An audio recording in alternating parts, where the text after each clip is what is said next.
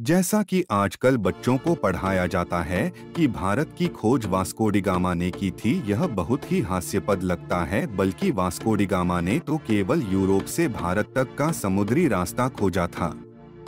बाद लगभग 700 वर्ष पूर्व की है, जब भारत वर्ष एक शक्तिशाली देश हुआ करता था। भारतवर्ष उस समय व्यापार, कृषि, धन संपदा, प्राकृतिक सौंदर्य में ही नहीं, बल्कि समस्त चीज़ों के लिए प्रसिद्ध था। उस समय अरब देश भारत से मसाले आदि सस्ते दामों में खरीद कर यूरोपीय देशों को महँगे मूल्य में बेचते थे। यूरोपीय देशों को भी लगता था कि अरब देश कहीं ना कहीं हमसे कुछ छुपाते हैं।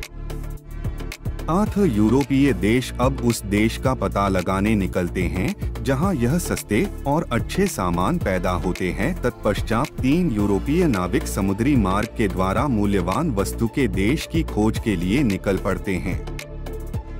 इनमें एक इटली के कोलंबस थे, जो अटलांटिक महासागर में भ्रमित हो गए और उन्होंने अमेरिका के रास्ते की खोज की। कोलंबस ने अमेरिका को ही भारत समझा इसलिए वहाँ के मूल निवासियों को रेड इंडियन कहा जाने लगा था।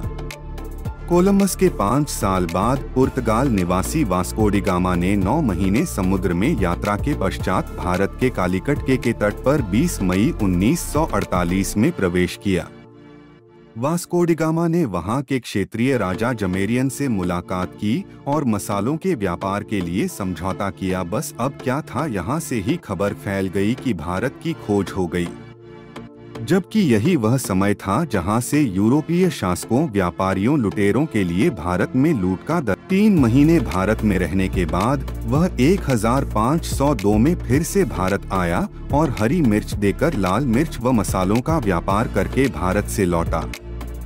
इसके बाद विदेशियों के आना गोवा और केरल में धर्म परिवर्तन लूटपाट से शुरू होकर फ्रांसीसियों, पुर्तगालियों, अरबों, मुगलों, अंग्रेज़ों आदि पर समाप्त हुआ।